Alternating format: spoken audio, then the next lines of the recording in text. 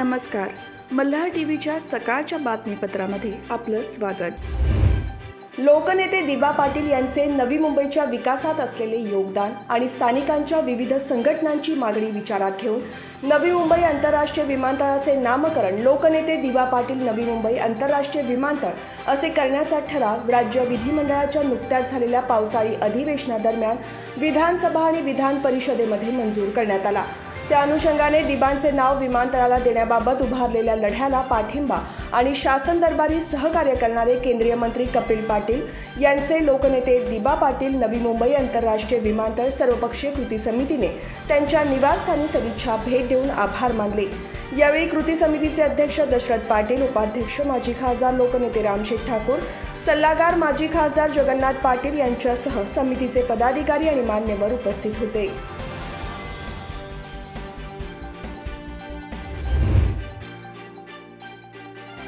मुंबई पुणे महामार्गावर खोपोली हद्दीतील लौजीजवळ एका झायलो गाडीतून दोनशे दहा किलो गांजा जप्त करण्यात आला आहे. पुण्याहून फिल्मी स्टाईलने पाठलाग करून गुरुवारी रात्री ही कारवाई करण्यात आली. जप्त केलेल्या गांजांची किंमत पंचवीस लाख रुपये असल्याचे सांगितले जात आहे. पुण्याकडून मुंबईकडे जायलो गाडीत गांजाची तस्करी केली जात असल्याची माहिती अंमली पदार्थ विरोधी विभागाला सूत्रांकडून मिळाली होती. मिळालेल्या माहितीनुसार एन सी बीच्या पथकाने मुंबई पुणे महामार्गावरून संबंधित गाडीचा पुण्याहून फिल्मी स्टाईलने पाठलाग केला. गांजा तस्करी करणाऱ्या आरोपींना हे कळताच पोलिसांना चकवा देण्यासाठी त्यांनी खोपोली बाह्य वळणावरून पळ काढला. तरीही एन सी बी टीमने त्यांचा पाठलाग सुरूच ठेवून त्यांना ताब्यात घेतले. दरम्यान जायलो गाडीमध्ये एक आरोपी पसार झाला असून त्याचा शोध सुरू आहे.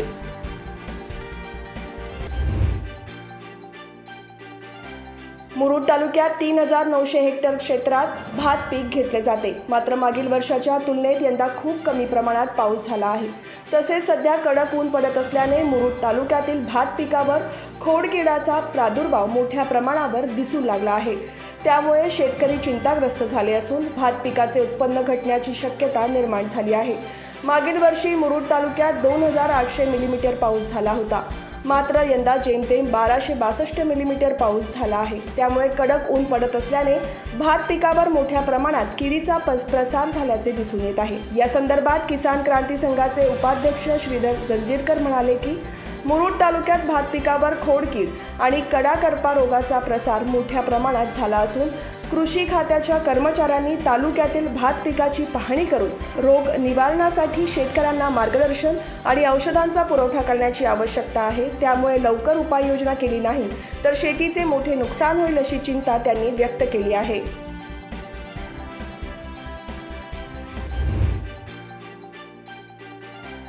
भारतीय स्वातंत्र्याच्या अमृत महोत्सवाचे औचित्य साधून जीवन विद्या मिशनच्या डोंबिवली शाखेने ग्राम समृद्धी अभियानाअंतर्गत दत्तक घेतलेल्या कर्जत तालुक्यातील भिवपुरी या गावात नुकताच वृक्षारोपणाचा उपक्रम राबवला. जीवन विद्या मिशन ही संस्था दोन हजार बावीस दोन हजार तेवीस हे वर्ष श्री सद्गुरू जन्मशताब्दी वर्ष साजरे करत आहे. त्या अंतर्गत कर्जत तालुक्यातील भिवपुरी गाव जीवन विद्या मिशनच्या डोंबिवली शाखेने दत्तक घेतले आहे. जीवनविद्या मिशनच्या ग्राम समृद्धी अभियानाअंतर्गत भिवपुरी गावात शंभर रोपांची लागवड केली.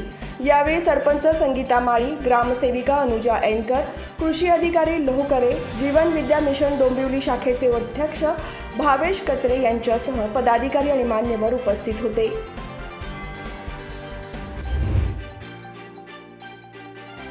खोपोली शहराच्या प्रवेशद्वारी उभारण्यात आलेली स्वागत कमान मधोमध वाकली असून कमानीवर बसवलेल्या लाद्या आणि शोभेच्या वस्तू खिळखिळ्या होऊन जमिनीवर कोसळत आहेत. या कमानीवरील दोन लाद्या गुरुवारी खाली रस्त्यावर कोसळल्या.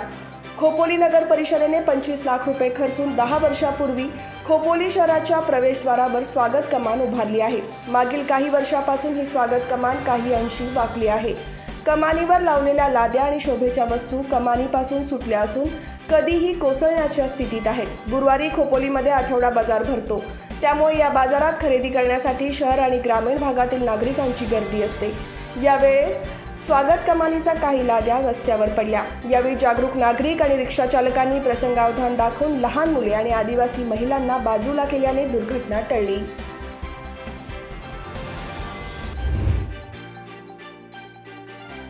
शिवप्रेमींना किल्ले रायगडवर केवळ चारच मिनिटात घेऊन जाणाऱ्या रायगड रोपवेची सेवा येत्या पाच ते दहा सप्टेंबर या काळात देखभाल दुरुस्तीसाठी बंद ठेवण्यात येणार आहे. रायगड रोपवेचे व्यवस्थापक सतीश माळवटकर यांनी प्रसिद्धी पत्रकाद्वारे ही माहिती दिली आहे. किल्ले रायगडवर जाण्यासाठी रोपवेची सुविधा उपलब्ध झाल्याने ज्येष्ठ नागरिक लहान मुले त्याचप्रमाणे शारीरिकदृष्ट्या कमजोर असणाऱ्या व्यक्तींना गडावर जाणे शक्य झाले. प्रवाशांच्या सुरक्षिततेसाठी रोपवेची दर तीन चार महिन्यांनी डागडुजी दुरुस्ती करावी लागते. यापूर्वी एप्रिल महिन्यामध्ये रोपवेची सेवा देखभाल दुरुस्तीसाठी करण्यात आली होती. आता पुन्हा देखभाल आणि दुरुस्तीसाठी रायगड रोपवे पाच ते दहा सप्टेंबर दरम्यान बंद ठेवण्यात येणार आहे. या दरम्यान पर्यटकांच्या गैरसोयीबद्दल मिलेनियम प्रॉपर्टीज कंपनीमार्फत दिलगिरी व्यक्त करण्यात आली आहे.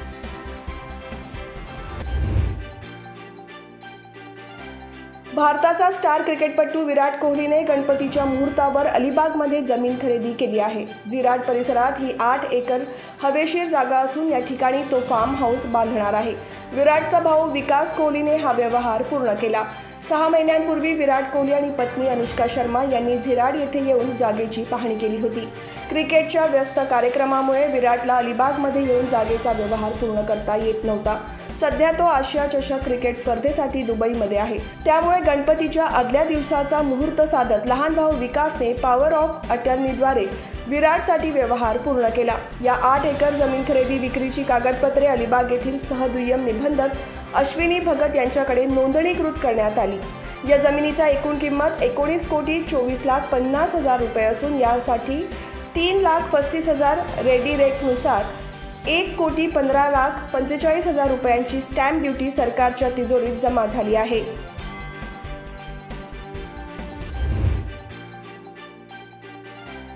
महात्मा फुले जनआरोग्य योजनेच्या पॅनलवरून कामोठे एमजीएम रुग्णालयात निलंबित करण्यात आले होते. त्यामुळे या योजनेचा लाभ या ठिकाणच्या रुग्णांना मिळत नव्हता.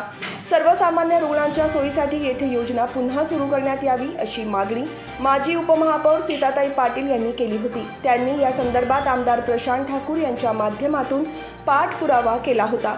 त्यानुसार या रुग्णालयात ही योजना पुन्हा कार्यान्वित करण्यात आली असून रुग्णांना आणि त्यांच्या कुटुंबियांना मोठा दिलासा मिळाला आहे. कामोठे एम जी एम हॉस्पिटलमध्ये दररोज अनेक रुग्ण उपचारासाठी येतात. पण महात्मा फुले जनआरोग्य योजना बंद असल्याने त्यांना या योजनेचा लाभ मिळत नव्हता. या पार्श्वभूमीवर आमदार प्रशांत ठाकूर यांच्या माध्यमातून राज्य सरकारकडे पाठपुरावा करण्यात आला. त्यानुसार हे कामोठे एम जी एम रुग्णालयामध्ये जनआरोग्य योजना पुन्हा कार्यान्वित करण्यात आली आहे. संपूर्ण भारतीय बनावटीची आय एन एस विक्रांत ही विमानवाहू युद्धनौका शुक्रवारी नौदलाच्या ताफ्यात दाखल झाली. पंतप्रधान नरेंद्र मोदींच्या हस्ते कोचीमध्ये हा सोहळा झाला. पंतप्रधान मोदींनी भारतीय सामर्थ्याचे प्रतीक म्हणजे आय एन एस विक्रांत आहे. प्रत्येक भारतीयासाठी विक्रांत युद्धनौका म्हणजे स्वाभिमान आहे अशी भावना व्यक्त केली. या सोहळ्यात पंतप्रधान नरेंद्र मोदी यांच्या हस्ते भारतीय नौदलाच्या नवीन ध्वजाचेही अनावरण करण्यात आले. त्यांनी हा ध्वज छत्रपती शिवाजी महाराजांना समर्पित केला. स्वराज्याच्या राजमुद्रेतून प्रेरणा घेत नवे चिन्ह साकारण्यात आले आहे. आत्तापर्यंत भारतीय नौदलाच्या ध्वजावर गुलामगिरीची ओळख होती. मात्र आजपासून भारतीय नौदलाला नवा झेंडा मिळणार आहे. नव्या झेंड्यावर एका बाजूला भारताचा तिरंगा तर त्याच्या बाजूला नौदलाचे बोधचिन्ह दिसणार आहे.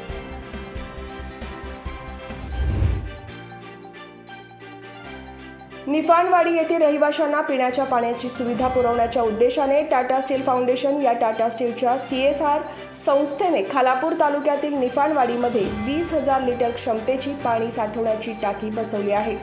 या टाकीमुळे निफाणवाडीतील बासष्ट रहिवाशांना पिण्याच्या पाण्याची सुविधा मिळणार आहे.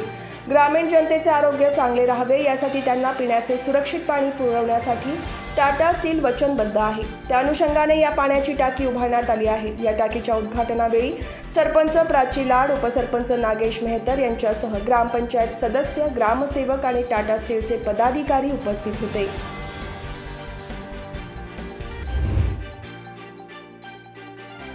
पाली खोपोली राज्य महामार्गावरील पाली भालगुल आणि जांभूळपाडा या नवीन पुलाचे काम पावसाळ्यापूर्वी पूर्ण होणार असे आश्वासन M S R D C आणि तत्कालीन शासनाने दिले होते. मात्र आजही येथील धोकादायक पुलांवरून वाहतूक होत आहे. विशेष म्हणजे पाली अंबा नदी पुलावरून यंदाही पाणी गेले.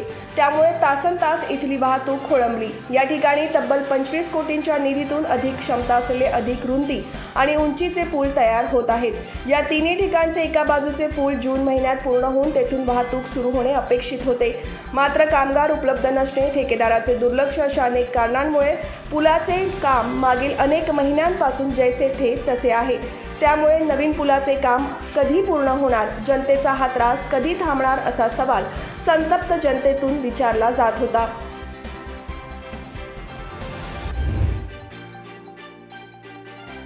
Crime and criminal network system कार्यप्रणालीमध्ये Raigad police दलाने राज्यात प्रथम क्रमांक मिळवून आपला दबदबा कायम राखला आहे.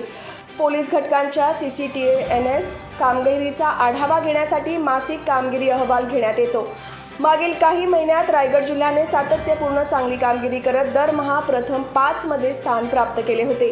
त्यानंतर C C T N S कामकाजामध्ये आणखी सुधारणा करीत मे दोन हजार बावीसमध्ये प्रथम क्रमांक जून दोन हजार बावीसमध्ये द्वितीय क्रमांक आणि जुलै दोन हजार बावीसमध्ये प्रथम क्रमांक प्राप्त करत रायगड पोलीस दलाच्या शिरपेचात आणखी एक मानाचा तुरा रोवला आहे.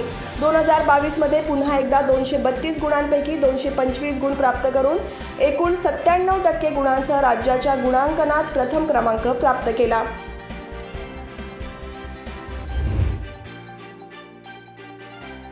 सुधागड तालुक्यातील नानोसे बौद्धवाडी गावाला शुद्ध मुबलक आणि नियमित पाणीपुरवठा करावा अशी मागणी ग्रामस्थांनी गटविकास अधिकाऱ्यांकडे निवेदनाद्वारे केली आहे. जलजीवन मिशन या योजनेअंतर्गत नानोसे गावाला पाणी पुरवठा केला जातो.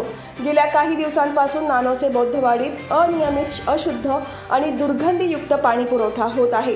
त्यामुळे ग्रामस्थांबरोबरच येथील प्राथमिक शाळा तसेच अंगणवाडी यांची देखील पाण्याविना अतिशय गैरसोय झाली आहे. त्यामुळे येत्या सात दिवसात पिण्याचे शुद्ध पाणी आणि पाण्यासंदर्भात सर्व सोयी न मिळाल्यास आमरण उपोषण करण्यात येईल असे या निवेदनात म्हटले आहे. हे निवेदन गटविकास अधिकाऱ्यांना देण्यात आले.